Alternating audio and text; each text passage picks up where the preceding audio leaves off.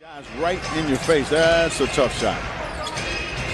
Bounce inside, and Hunter lays it in. And a foul on Philly. A large man, very strong individual.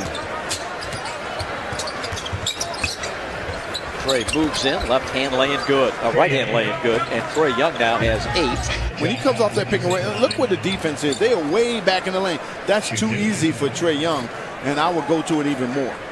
Let's see, how many does Mr. Korkmaz have? Nine points now. And Bruno scores at the other end. Oh, nice setup by Trae Young off the drive.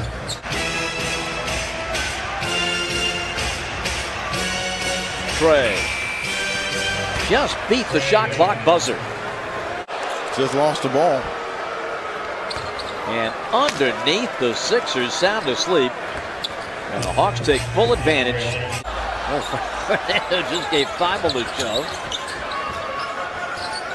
Now Trae works the deep three and hits it.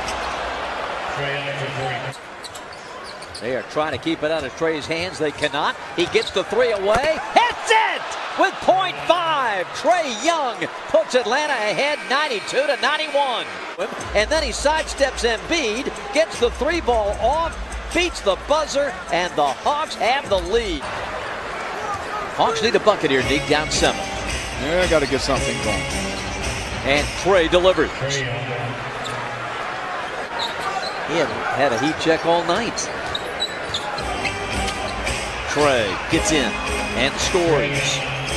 Hawks Live post game presented by Nissan. Coming up next, here's his first free throw miss after 14 makes. Trae lobs it, Collins jams it.